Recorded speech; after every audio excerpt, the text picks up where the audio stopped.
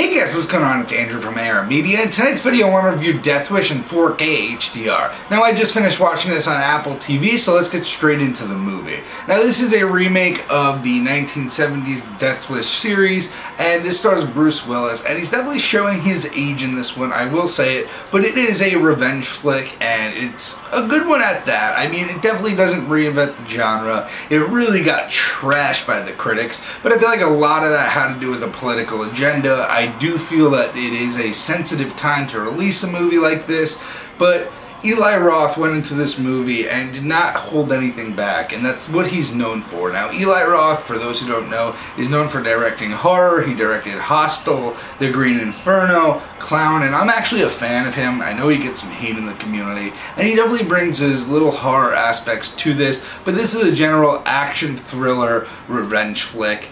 Bruce Willis definitely kicked some ass in this, and I had some fun with it. I mean, don't get me wrong, there's definitely some issues with the story, and it doesn't reinvent the genre or anything, but it's definitely some gory, bloody fun that Eli Roth knows best. Now let's get to the picture quality.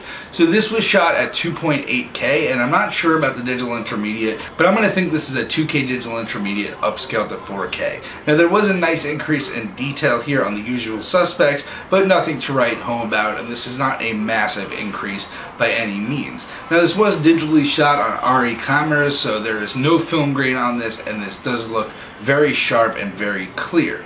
Now the black levels are very good here and there are a lot of nighttime scenes with very dark images so the black levels really do help out. Now let's get to the HDR on this one and like I said there are a lot of nighttime scenes when Bruce Willis is going and getting revenge and the shadow detail in the HDR is leaps and bounds ahead of the HD version. That's what I will say and that's one of the main highlights of this transfer. Also in the HDR there are nuances in the color especially in the daytime scenes and you can tell different nuances of the gray on Bruce Willis's hoodie as well.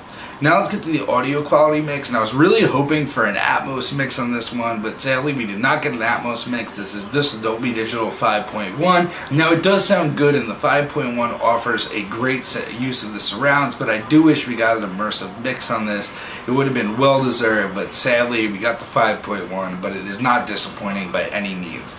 Now guys, this is a digital exclusive if you want the 4K. It's only coming out in Blu-ray otherwise, and the code does not redeem in 4K and it's $14.99 currently. And for this one, I would say wait for a sale. Don't get me wrong, the 4K does look better, but it, I would not say it's leaps and bounds better, and I could see this going on sale for $9.99 very soon. Anyway guys, I hope you liked this video. Let me know down below if you saw the movie, what you thought of it, and I'll see you guys in the next one.